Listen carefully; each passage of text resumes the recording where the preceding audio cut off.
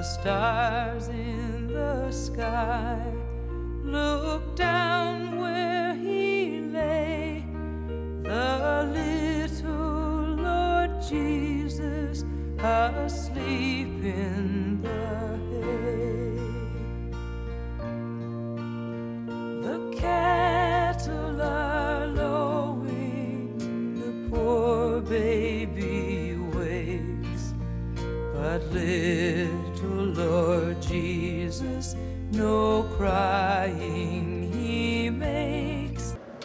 As you can hear, Athanasius was right. The heretics do have the best songs. Now I play you that uh, tune in order to prepare you so that you can be on the lookout this coming Christmas season and save your family and community from dangerous heretical tendencies in much of our holiday music. Uh, the Apollinarianism there in that tune uh, is, I think, plain for us all to see. Now, in all seriousness, of course, um, Away in a Manger is a lovely hymn. Um, I enjoy it myself. It's one of my personal favorites. Uh, but I did want to get your attention a little bit in terms of thinking about uh, issues of Christology. Right? And in this module, what we're going to be looking at are uh, a series of controversies referred to as the Christological controversies. Uh, and this is a series of controversies that took place uh, after the Council of Nicaea, um, which resolved the issue of Jesus' full divinity, at least in theory, as we talked about last time. Uh, but what occupied the church for the, the centuries after Nicaea was moving from, okay, we understand, in fact, that Jesus is divine, but now let's think about how is it that this person, Jesus Christ, uh, could be one person but be both divine and human. Uh, and that raised a number of questions, a number of controversies and debates that really occupy and rock the church, if you will, uh, in the centuries following Nicaea. Uh, and it's an issue that still is uh, pertinent today, uh, that we still struggle with the question of how to think about and how to talk about Jesus being both human and divine. Uh, and one of the places we can see this is when we look at um, depictions or songs about Jesus' infancy, right? As I'm sure you're all familiar with, there's a whole different array of ways of depicting uh, the nativity or depicting Jesus as a baby or child. Um, most of you are probably familiar with some of the earlier Christian art from uh, the time before the Renaissance and even some of the early Renaissance pieces. Uh, we get a depiction of Jesus that is very formal, uh, where he is um, clearly kind of otherworldly, clearly supernatural. Um, sometimes, of course, we even have like baby or young child Jesus standing there giving a formal blessing to those around him, uh, which would be a, a depiction of Jesus that very much emphasizes his divinity as opposed to his humanity. Uh, in other artwork, generally later into the Renaissance and past, we get depictions of Jesus that are much more naturalistic, that Jesus looks uh, much more like a typical uh, newborn child or typical infant child, um, although usually, of course, a very attractive one with a very attractive mother, not usually depicting uh, kind of the rough realities of what would have been a peasant birth uh, in first century Palestine. But we see more of a human side of Jesus. But again, I think you could even say with many of these depictions uh, that we might find from, say, famous Renaissance works, um, even there, the humanity of Jesus is this very kind of um, pristine humanity, right? It's not one that's dirty and gritty uh, and really historical, right? We don't often see an image of the baby Jesus where he really looks like a newborn and really looks like a newborn who might be wailing and crying or doing any of the other unpleasant things that newborns um, tend to do, right? And again, to go back to our song, you know, what do we hear when we hear a description of baby Jesus, right? The cattle are lowing, uh, the baby awakes, but little Lord Jesus, of course, no crying he makes. Now, having had four children myself at this point, um, it is true that occasionally children will wake up uh, and not cry. But in my experience, more often than not, uh, there usually is some crying uh, involved with this. Uh, those first nights, especially in the hospital, uh, apart from the very uncomfortable dad bed that's in the maternity rooms, um, you're constantly being woken up by this newborn baby crying, in fact, uh, quite regularly um, in those first days of life. And so, in reality, probably when baby Jesus woke up, he would have been uh, bawling and crying and red and, and, kind of funny looking. But we don't tend to see Jesus that way. Uh, and so, in this module, what we really want to talk about and look at is um, are those kinds of issues. How do we think about, how do we depict, how do we talk about Jesus? Uh, now, why does this matter so much, right? What does it really matter if we have Jesus as kind of uh, a little God man blessing people versus um, kind of pristine baby Jesus looking like a little cherub versus maybe a gritty, realistic, less attractive depiction of Jesus as a real first century uh, newborn in uh, the not most sanitary of environments? Well, it matters for a number of reasons, right? Getting right our understanding of Jesus is uh, essential for the rest of our theology and faith as a whole.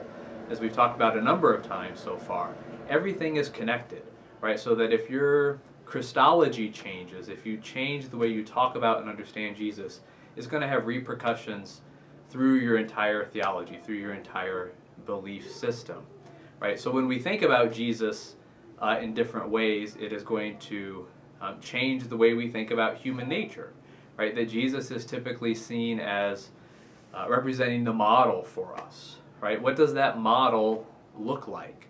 Uh, does it look like um, a one-year-old who stands up and blesses people, or does it look like a one-year-old um, who's much more like the one-year-olds that we experience uh, in our own lives, or is it is it somewhere in between? Uh, and thinking about that is very important, right? I mean, think about the the what would Jesus do phenomenon with the bracelets and the bumper stickers and all of that. What would Jesus do is going to depend a great deal on how you conceive of and understand Jesus. Um, is Jesus thought of in these kind of iconic terms where he's very otherworldly, not caught up in the nitty gritty of real life? Or is the real Jesus a much grittier character, right? Someone who never sins, but someone who is really immersed in the bodily, daily realities of this world as we uh, experience it. I, some of you might recall a, a, real controversy a number of years ago with the movie The Last Temptation of Christ, um, where the filmmaker tried to depict um, Jesus in very real, gritty terms, uh, and especially depicting the idea that Jesus may have been tempted by uh, the possibility of leaving his calling, his vocation as, as Savior, um, and somebody who might have been drawn to, on some level, the possibility of a, a normal life, a life that would include marriage and children uh, and all of those things. Now, I think there can be some justifiable complaints about the way the filmmaker uh, went about depicting that possibility where it might seem that Jesus is kind of dwelling on uh, these temptations, particularly the bodily sexual temptations. But I think the bigger question of whether or not Jesus might have experienced a natural desire for a wife, for a family, um, is an important one to consider. Uh, and it really it does, I think, change our perception of Jesus if we just assume that, well, Jesus could have never been tempted by uh, the possibility of having a wife and family like a normal man, uh, that is going to shape uh, in important ways, and I think maybe in some problematic ways, our understanding of human nature. Um, what is the Jesus, who is the Jesus that we are supposed to emulate in our own lives? It also raises questions of salvation, right? That um, the way we understand Jesus being human and divine is going to shape in important ways the way we think salvation works. Does Jesus save us by um, resisting temptation, by being a moral example for us, by doing what Adam couldn't do?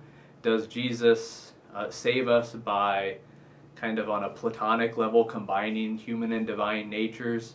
Um, how we understand Jesus' makeup as human and divine is going to shape our understanding of how we think salvation works.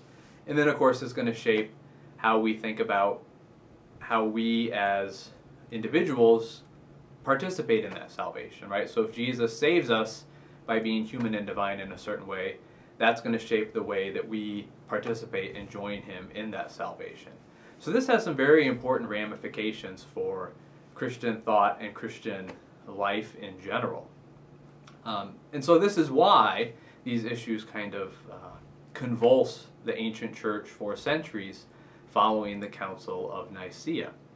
Uh, and so what we're going to do in this module is just look briefly at a number of these different controversies just to give you kind of a general understanding of the issues. We could spend a great deal of time on any one of these controversies, but I think it'd be helpful just to see the spectrum of possibilities in the basic way that the church um, resolves uh, some of these controversies to prepare us to study more of the individual controversies uh, on our own at some other point, but also to give us a sense of um, how these same issues come up in our own day and how the church's response to them uh, in the past might be useful for us to apply again in our own context. So to dive into all of that, I want to first start off by talking a little bit about um, the two primary approaches to thinking about Christ's nature being human and divine in one person uh, that we find in the ancient uh, Christian world. There's a Antiochian approach to these things and an Alexandrian approach. And so we need to have a basic understanding of those two approaches before we get into the details of the specific controversies. Now, really talking about uh, Alexandrian versus Antiochene uh, theology in the early church is a huge topic and would take um, a course in itself to really fully explain. I'm sure you're tired of me saying that by this point, but it's true. Um, but I do just want to give you kind of a general idea uh, of this distinction. Um, now, one thing to say before we get into what's Alexandria versus what's Antioch uh, is to make you aware that many scholars who study this period, and really probably most of them, uh, would caveat this whole discussion by saying um, it's not this simple, right? That it's not as if uh, ancient Christian thought divides neatly and easily into these two distinct categories of Alexandrian or Antiochian, uh, and that that can really kind of give us an overall understanding of the period. Uh, the realities are more complicated than that, in that uh, probably no figure falls entirely in one uh, category or the other, and there's a lot that mix and match between the two uh, approaches to thinking about uh, our faith. Having said all of those little academic caveats, it still is a useful way of thinking about different approaches to the nature of Christ, different approaches to interpreting Scripture that we find in the early church period. So let me just run down very briefly for you uh, an explanation of these two approaches. We'll start off with Alexandria. Uh, we've already seen some figures uh, that would be part of the Alexandrian school of thought, uh, most notably uh, Origen, who of course uh, is from Alexandria, preceded there by Clement of Alexandria, and we also get um, Athanasius and then Apollinaris would be later figures um, from that period as well uh, and it could go on um, further into Cyril of Alexandria and other figures later on in the early church. Now, what makes all of these figures part of the Alexandrian school of theology apart from some uh, geographical connection to Alexandria? Well, um, again, this is kind of very general, um, but in Alexandrian theology, there is an emphasis on um, on philosophical approaches to the faith, right? So it will be shaped by, in some ways, kind of a Platonic way of thinking that emphasizes um, the ideas and the natures of things. It's more, tends to be a bit more abstract, tends to focus on divine nature and human nature and how they relate, uh, and less on kind of nitty gritty historical realities. Um, so the Alexandrian approach tends to be more um, Platonic. Um, along those lines, um, they tend to read Scripture more allegorically, right? This shouldn't be a surprise, given that Origen is really, in some ways, the, the father of that. Uh, but in general, Alexandrian exegesis uh, is more allegorical, right? It, it says, yes, these historical realities happen, but the more important thing is the spiritual message behind it, right? So more focus on the abstract and the allegorical, um, and then when it comes to understanding um, Jesus and how salvation works, you get the same kind of emphases, right? So Jesus's nature is thought more in these um, philosophical terms of human nature and divine nature and how the two fit. Um, and uh, salvation is thought of in terms of uh, what we talked about with Athanasius before, right? That um, God becomes man so that man can become divine. Uh, and really, the, the crucial point in salvation in this approach is when the human and divine natures are united in the person of Christ. Uh, and it's this metaphysical union of these two natures that then makes it possible for other human beings who share that human nature to share in that um, union with the divine that happens in Christ.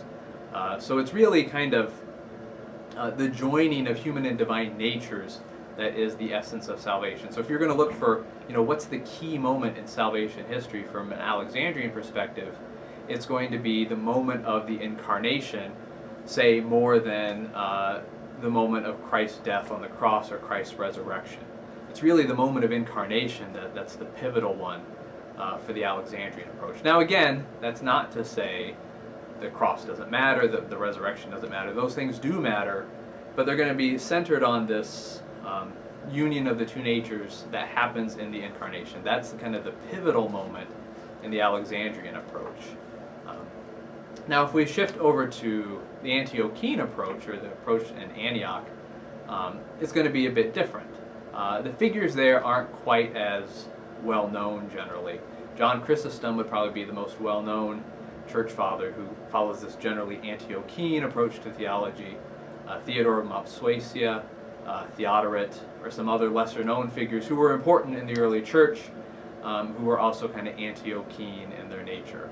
Uh, but there's a, a, number of other figures who would fall into this category.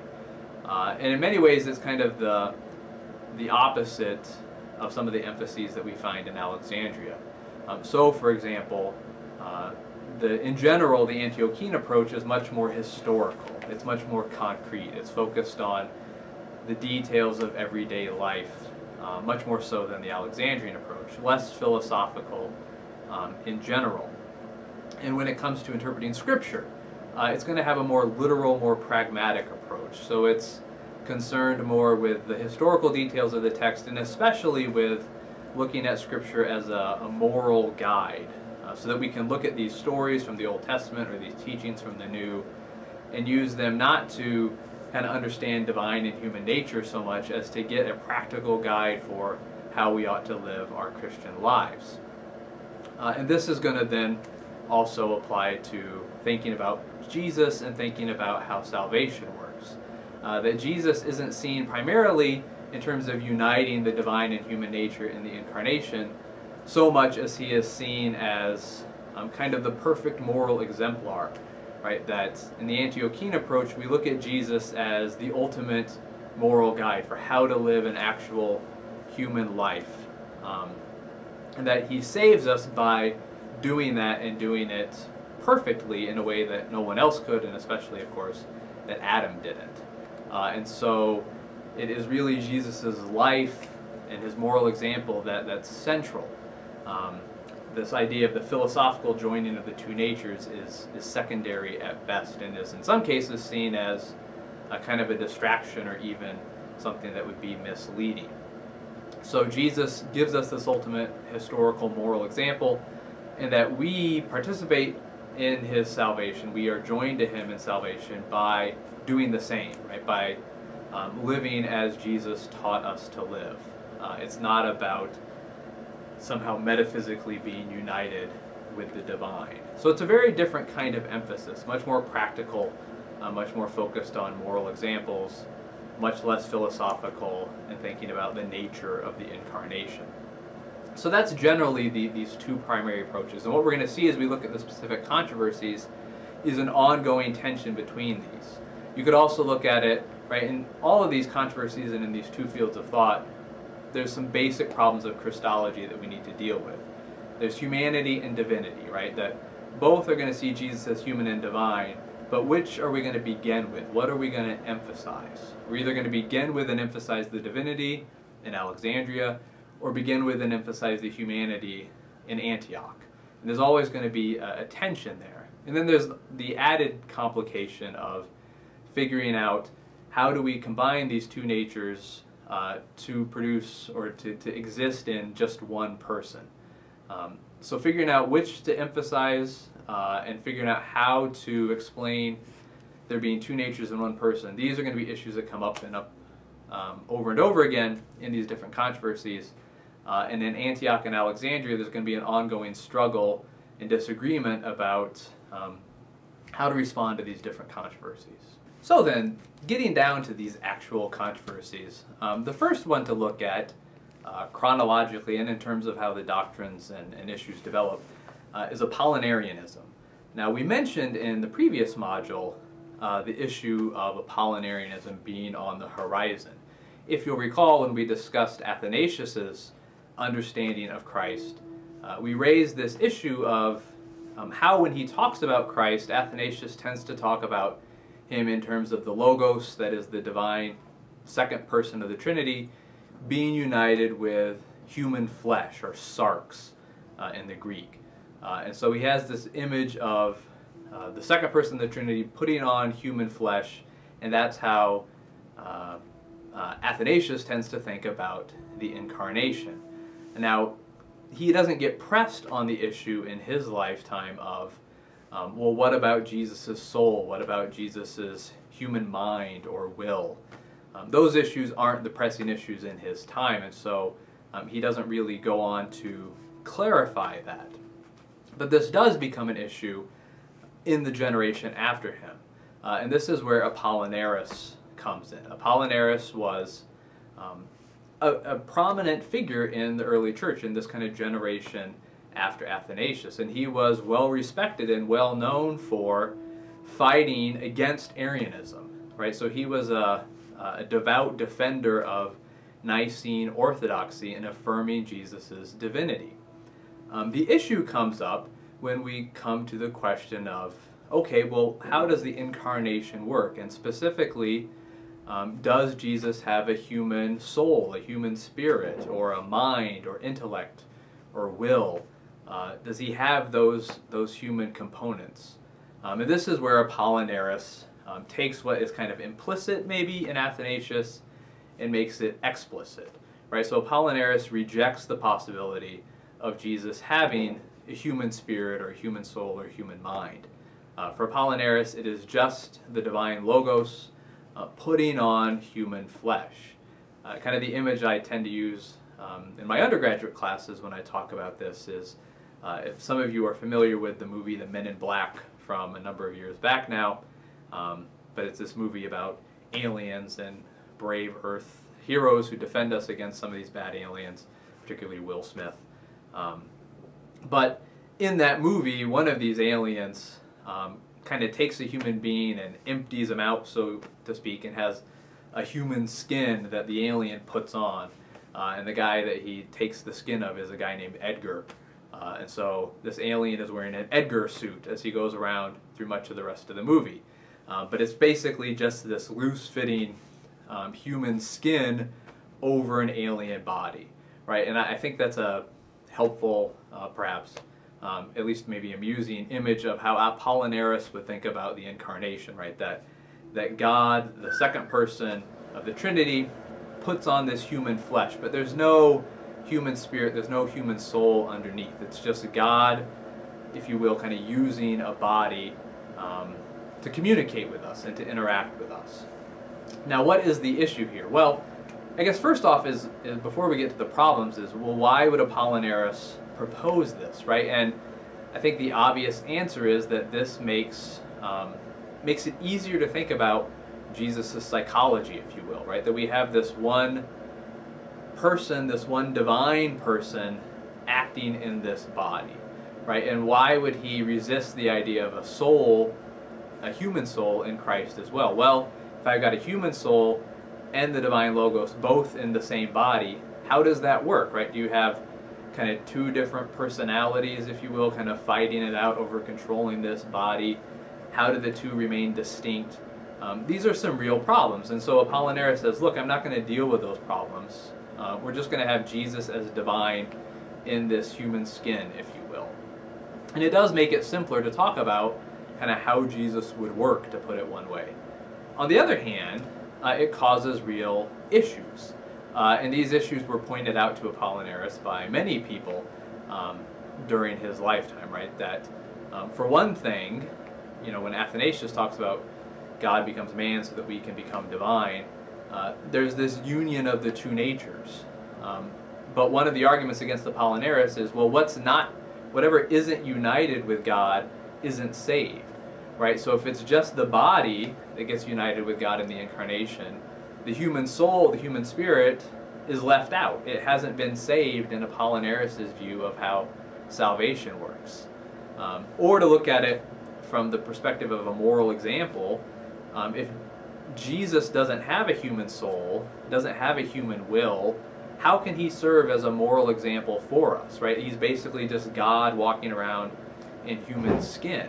Um, that doesn't give me a model for how a perfect human being exists. That just shows me how God would act if he were using a human skin um, kind of as a cover to interact with us. And so Apollinaris' approach um, has a number of problems, uh, and ultimately his approach to um, thinking about the incarnation is rejected at the Council of Constantinople uh, in 381. The next controversy uh, I want to look at basically takes us from Apollinarianism and swings us to the other end of the pendulum, so to speak. Uh, and this is the controversy surrounding Nestorianism. Uh, Nestorianism uh, comes after Apollinarianism, uh, and this is really, in some ways, kind of the extreme Antiochene response to Apollinaris' extreme form of Alexandrian thinking, right? Uh, in Alexandria, the emphasis is on um, the divine nature uh, and the importance of the incarnation, uh, and very little emphasis, as we just mentioned, on Jesus as, say, a moral example. Uh, with Nestorius, we get a reaction against those things, right? And Nestorius um, has a very different image of how the incarnation works. For him, um, basically what we have is a full human nature, body and soul together, um, being united with um, uh, the divine nature, right? The, the second person of the Trinity or the Logos. Um, so Nestorius has both natures kind of fully present Um, okay, well that seems good enough, so what seems to be the problem? Uh, because as you know or can guess, right, Nestorianism is going to mean that whatever it is that Nestorius taught is going to become known as a heresy, otherwise we wouldn't call it Nestorianism. Uh, well, Nestorianism uh, becomes a heresy because when Nestorius has this idea of the human nature whole and complete together with the divine nature whole and complete, he isn't really able to um, explain how the two join together to be just one person. Uh, and in fact, he actively resists the idea of really um, affirming that these two natures exist in just one person. Now, when you actually read Nestorius' writing, um, he never comes out and says kind of explicitly that Jesus isn't one person or that we have kind of two distinct persons in, in one body or anything like that. Uh, but that's the general impression that people got from his teaching, right? Was that he affirms the two natures, but he does it in a way where he refuses to accept the idea that those two natures are really joined um, in one person right? And this becomes a real issue uh, when it comes to talking specifically about Mary. Um, one of the the features that we'll talk about of what becomes Orthodox Christology is that we can call Mary uh, the Mother of God. Now, in a specific sense, right, Mary is the mother of um, Jesus' human nature, right? That she is the source of his human nature. But we also are willing to say that Mary is the mother of God because Jesus, whom she is the source of human nature for, is also God, right? So it's proper to call Mary the mother of God because she's the mother of Jesus, who is God. But this is precisely uh, one of the issues where Nestorius is going to react against the real union of these two natures in one person, right? So he teaches that we ought not to call Mary the mother of God uh, because he will say, well, look, the divine nature exists long before Mary is ever created. So how can she be the mother of God? All we can call Mary is the mother of Christ, right? So in the Greek, um, we call Mary mother of God Theotokos. Uh, which he rejects. He would say, well, we can call her Christotokos, right? That she's the the Christ bearer. But he refuses the idea of calling her um, the Mother of God. And this is where there is a, a real crisis, a real um, battle uh, uh, between Nestorius and those who would defend calling Mary um, the Mother of God or the Theotokos. Uh, because they would say we really need to have these two natures still be one person. And they argue basically that in Nestorius' scheme, what you have is, is kind of two complete persons who just happen to be inhabiting uh, the same body. Uh, and as we know from science fiction movies and different kinds of comedies, uh, that never really works out well. Now, before we get to the response to Nestorius, let me also just say uh, one more thing about why Nestorius might have taught what he did teach. Right. So, as I already said, one of the issues is uh, he says it doesn't really make sense to call Mary the Mother of God because God obviously uh, exists long before Mary is around. So she can't be um, the source of, of God in some real meaningful way for Nestorius. Uh, he also thinks that if we um, talk about there just being this one person in a very clear way, that this is going to lead to um, a confusion of the natures, right? So he keeps the two natures, the divine and human, very distinct in discussing Jesus to the point that it looks like you have two persons in one body. Uh, but he does that in part because he thinks if you talk about it really being just one person with these two natures, uh, you're ultimately mixing and confusing the two, right? And this is going to be a real problem because either you're going to basically become Apollinarian in terms of really you're going to have a Jesus who's only divine and has a human body, or uh, if you really have both divine and human uh, natures in this one person you're talking about, uh, Nestorius thinks you're in danger of kind of mixing the two, right? You end up with this kind of blended um, nature. And for him, this is a real problem uh, because, among other things, Nestorius is very committed to preserving um, God from any change and especially from any suffering right? So he thinks if we really emphasize this true union of the two natures in one person, we're in danger of making God changeable. We're in danger of making God involved in change and suffering in the incarnation, which is why he basically keeps this sort of wall within Jesus between the human and divine natures to keep them from getting mixed up. Uh, because he doesn't want a God who's changing and suffering uh, in this person of Jesus Christ. So these are going to be some of the things that are motivating him. Now, I think those are some reasonable issues to bring up. Um, but uh, a number of people point out that Nestorius' overall approach um, ultimately doesn't work. Uh, and the primary uh, opponent of Nestorius is Cyril of Alexandria. Now, as I mentioned earlier, Cyril of Alexandria is a key member of the Alexandrian school of theology.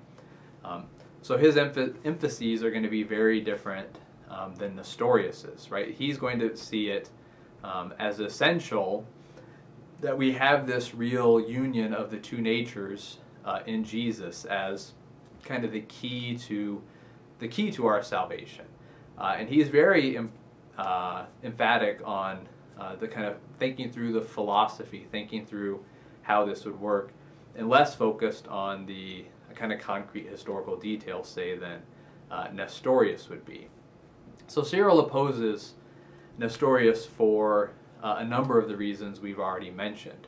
Uh, that basically what you get in Nestorius is kind of two different persons, uh, which is not going to work. Um, we end up with this kind of schizophrenic, bizarre Jesus.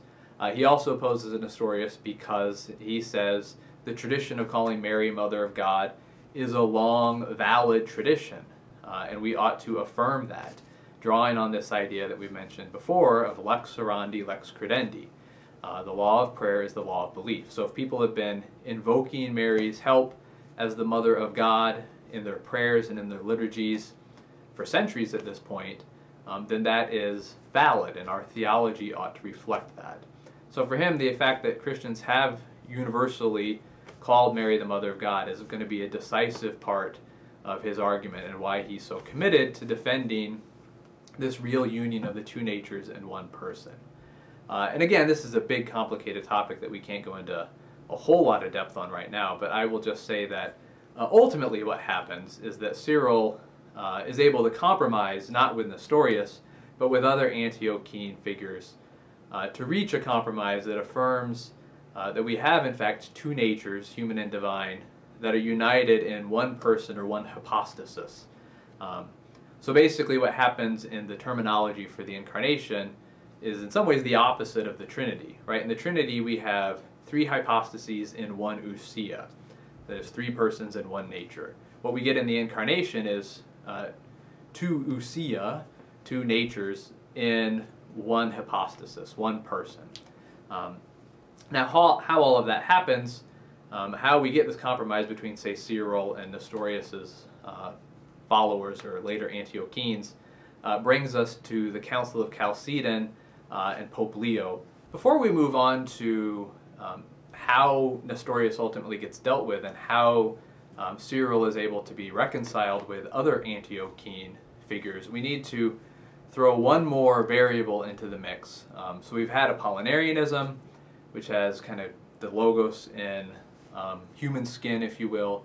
We've had Nestorius, who basically has, it seems, kind of two complete persons in this one body uh, of Jesus. Uh, and then the last um, heresy that we need to address uh, is something advanced by a figure known as Eutyches. Uh, and Eutyches um, is kind of the leading figure in um, a heresy or a movement that gets known as Monophysitism. Uh, and Monophysitism doesn't exactly roll off the tongue. Uh, but basically what this is, is it argues that there's only one nature uh, in Jesus. So phusis uh, is another way of talking about nature, and it's mono. So monophysitism, says, um, especially against Nestorius, but also against uh, what Cyril would say from an Alexandrian view, uh, there's not two natures in Jesus. In fact, there is only one nature. Uh, and so monophysitism uh, is in some ways a real response against and the opposite to Nestorius. Uh, but it differs from what will ultimately become, say, an acceptable Alexandrian view um, of the two natures in, in, one person with an emphasis on the divine, in that in monophysitism, uh, there's one of two possibilities, right? And there was a, a range of different positions that could be called monophysitism. Either what you end up doing is really a form of Apollinarianism, where um, you just kind of give lip service to the idea that Jesus is human, and really um, he has a, a, divine nature with a human body. So um, it's a, a, number of years later, but basically people are slipping back into Apollinarianism even though it had been condemned at the Council of Constantinople in 381. Um, but in the 400s, people start doing this again. They just use different terminology. Uh, the other option, and what seems to have been um, the real issue with figures like Eutyches uh, and others, is they do exactly what Nestorius um, accuses the Alexandrians in general of doing. Uh, namely, when they talk about the human and divine nature uh, being in Jesus, they end up blending the two so that what you have is some sort of a hybrid or some sort of a demigod, right, where you have the human and divine natures being mixed in Jesus. Now they're doing this in order to avoid this image of Nestorius where you got two people in one body, basically. Uh, but in Monophysitism, uh, they solve the problem by basically making a blended person who's human and divine, but not entirely either one of them. Uh, so that's the monophysitism. Um, so then, um, all of this stuff is floating around, but especially in Nestorianism and the monophysitism uh, in the early 400s. Uh, and as you might imagine, this causes a great deal of debate and strife and conflict uh, between different bishops and theologians and, and churches. Uh, and so this is something that has to be dealt with. Uh, and this then leads us to the resolution of Nestorianism and monophysitism uh, that finally happens with the Council of Chalcedon in 451. Uh, and also brings us to talk about um, a pope for the first uh, kind of real time in our course so far, Pope Leo, uh, who played a crucial part in uh, the Council of Chalcedon. So how is it that Leo uh, and then the Council of Chalcedon deal with these problems? Right, we might think that basically what happens is that Pope Leo there in Rome, sits down and, and pens a theological masterpiece where he kind of explains clearly and lucidly um, all the mysteries of the incarnation. Uh, but that is not uh, really what happens. Uh, now, Leo's response, I think, is masterful. Uh, it is uh, a wonderful work of theology, but it's not any sort of speculation uh, on the nature of, of God or the nature of Jesus and the incarnation in an attempt to really define uh, what that was like. Leo is faced with this issue of okay, on the one hand, we've got uh, an affirmation of Jesus being both human and divine. We have these two natures.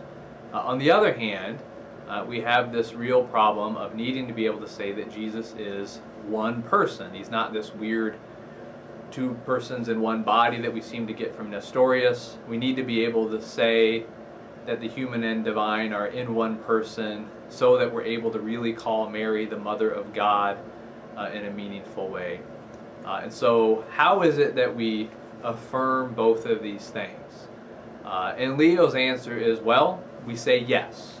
Yes, Jesus is human and divine, and yes, um, Jesus is still one person.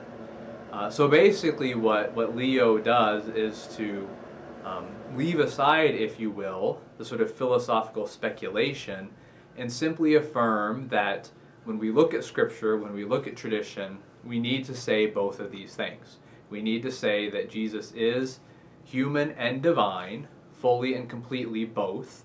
This is also going to include um, what Nestorius was worried about, affirming that the divine nature remains unchanged, um, perfectly divine, not uh, brought into suffering or change by the incarnation. And we also need to be able to say, with Cyril defending uh, tradition, that Mary is the mother of God because the human and divine nature are really united in one person, Jesus Christ, whom Mary is the mother of. Uh, and this is really where um, the papacy plays a pivotal role in this development of doctrine, right? Is that basically this is a uh, decades and even centuries long battle between these different, really sophisticated, very learned Greek theologians. Um, who are battling kind of Alexandrian versus Antiochian. Uh, and basically, Rome's approach uh, is to just say, look, uh, we don't know, we aren't able to figure out the philosophy in a sense that we're really ever going to be able to define the incarnation in a kind of holistic sense. What we need to do is set some rules, right? We need to say this and we need to say that. Uh, and you can debate the issues in between all you want, but you have to affirm both of these things. Uh, and in many ways, this kind of captures uh, a lot of the history of doctrinal development in theology. Um, the Greek speaking East of Christianity, um, through the first millennium or so of church history, has always been in the lead in terms of the theology, right? That the real sophisticated new theology, for the most part, um, almost overwhelmingly so, happens in the Greek speaking East. That they have a, a, more sophisticated tradition, more sophisticated terminology. That's where the real insights happen. But as a result, uh, along with that, that's also where most of the heresies tend to spring up. Um, the Latin speaking West tends to be, uh, in some ways, simpler and more pragmatic uh, and more focused on uh, kind of the concrete basic rules of things. And so, uh, again, I think this is um, a distinctive feature of Western thought that we find in uh, Pope Leo's so-called tome, this letter he writes addressing this issue. Um, it also just kind of reflects very nicely the Western approach to theology as a whole. Uh, so basically what happens is Leo writes this letter uh, addressing specifically Eutyches and his problems, but also including Nestorius uh, and proposing this kind of middle way, if you will, affirming both of these things and not trying to describe in a detailed way how the two um, work philosophically. And so what happens is, again, the Pope isn't actually present at the Council of Chalcedon, but the letter is read, his representatives are there, uh, and the fathers at uh, Chalcedon basically use Leo's letter as, as a template for how they're going to address the issue. And so Chalcedonian Christology um, becomes Orthodox theology, right? This is what kind of defines thinking about the incarnation in the way that Nicaea defines thinking about uh, the Trinity. And so what Chalcedon says is uh, he is fully and totally and completely divine. He is fully and totally and completely human. Uh, and those two full divine and human natures exist in one um, person of Jesus Christ. Um, again, not trying to specify exactly how that works, but saying that from Scripture, from tradition, from the rule of prayer, um, this is what we have to affirm about Jesus. Uh, and that has basically shaped Christian thinking about the incarnation of Jesus ever since then. Uh, and of course, it still leaves open a whole range of different ways of thinking about how that works. Uh, and that manifests itself in all kinds of different emphases, right? That we can see legitimate differences in emphasis, whether it's a, a very kind of uh, divine Jesus, um, kind of the, the Jesus of pre Renaissance art, or whether it's a very nitty gritty Jesus, uh, more modern depictions. Um, as long as you stay within those boundaries of affirming both full humanity and divinity and being one person, uh, there is some room for thinking about um, the best way for understanding uh, Jesus and these two natures. Now, what's the takeaway from all of this, if you will? Right, we've covered a whole uh, range of controversies and heresies, and I don't necessarily expect you to recall all the pertinent details of Apollinarianism or Eutyches um, two, three, four, five years from now. Um, but I do think it's important to be aware of this, this general history and this general tension in thinking about the nature of Jesus and the incarnation. Uh, that we, whatever uh, era we're in, whatever school of thought we might be in, we have to deal with uh, these basic problems of how do we affirm the humanity and the divinity uh, and how do we do that in a way where we still have um, someone who is truly one person? Uh, and that's always going to be a tension. There's going to be a tension in which of the two natures you emphasize, uh, and a tension between the two and the one in Christ. Um, now, again, I think we can still think about and talk about within those broad boundaries um, what's going to be the most um, useful approach for thinking about Jesus, and to recognize that there can be legitimate variations in people's emphases. Uh, in our modern context, uh, and something we'll get to later on in the course, um, the emphasis in the scholarly world, at least, is much more on the humanity of Jesus, right? That modern theologians tend to focus on, on Jesus' humanity. Um, and then, at least in, in some cases, also add into, once they've kind of drawn this picture of a first century Jewish rabbi, they also will add into it the understanding that, of course, he's also divine. Now, some scholars um, leave that part out and they just see Jesus as a first century rabbi. Um, but Orthodox theologians will still tend to emphasize the humanity uh, and then talk about how this human being, Jesus Christ, is also, in fact, the Son of God. Um, now, one of the things that I uh, have noticed in my own experience is that we can see this pretty consistently in academic theology. Uh, and in response to that, in a lot of popular Christianity, whether it's in the Catholic or in the Protestant realms, um, there tends to be a reaction against that. So that many uh, kind of devout Catholics, devout Protestants, uh, kind of react against the scholarly emphasis on Jesus' humanity by swinging to the other end of the pendulum, if you will, and insisting on uh, Jesus' divinity, right? So that you end up with um, a Jesus who is very clearly and pronounced in a pronounced manner divine, uh, and then we'll say, well, yes, he's also human. Um, and I think we need to be conscious of the fact that there are um, dangerous tendencies in either emphasis. That you can have different emphases that are legitimate, but there's always a danger of going a bit too far. Right? So the scholars can go a bit too far and reduce Jesus to just a first century rabbi or moral teacher.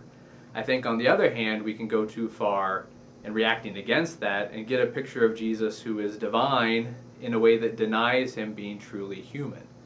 Uh, you know, many, I think, devout Christians um, tend to think of Jesus in this way, right? So we don't think of Jesus as actually having some of the, the real life issues that we struggle with. Um, was he really tempted? Well, most Christians will affirm that, but if you get to the question of, well, what might that have looked like? Could Jesus have really considered and been attracted to married and family life? Well, we don't we don't want a Jesus who would have actually really thought about that. Well, I think that's a real issue. Um, now, I'm not saying necessarily that we all ought to endorse the last temptation of Christ, but I do think we need to think about um, these problems, right? That if we deny these real natural human characteristics in Jesus, it's going to give us a Jesus um, that's going to be problematic for other parts of theology, right? If Jesus isn't really tempted, isn't really drawn to the possibility of family life, how can he be a good moral example to those of us who have those natural tendencies, those natural desires?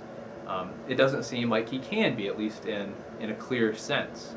Um, it's also going to shape our understanding of, of how salvation works, right? That, well, look, if Jesus was completely free from any consideration of married life, do I need to be that way to be a true Christian? Do I need to really be basically celibate uh, in order to be a real Christian? And you can, in fact, see this uh, tendency come up later on in the early church, where there are those who have this very divine emphasis in their view of Jesus, um, one that would discount the possibility of him having natural uh, desire for, say, marriage and a family. Um, and they translate that into a view of Christianity where if you're really going to be Christian, uh, you need to be celibate. Um, and that's not necessarily true, and that's not necessarily a good development in our theology or our practical ethics. So again, um, there's a whole range, I think, for authentic um, discussion and debate about how to think about Jesus. But whichever end of the spectrum we lean more towards, we need to be aware of the dangers of carrying that too far. Uh, there's always going to be this tension. We're never going to understand God and the incarnation fully. But hopefully, if we have an understanding of how some of these different controversies have arisen and been resolved in the past, it will enable us to avoid some of those same problems in our own time, in our own debates. So uh, we will leave it there for now, and I look forward to hearing uh, your thoughts and reactions to all of this and, and to some selections from uh, Nestorius and Cyril and Leo uh, when we get onto the discussion board.